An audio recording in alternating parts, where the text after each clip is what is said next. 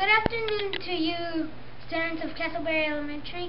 The fifth grade has a special message for you. Now over to you, Sylvia.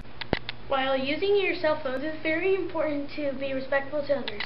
It's easy to forget that you're talking to a real person. Over to you, Hannah. So remember to be nice. If you wouldn't say it in person, don't say it in a text message. Have a good day.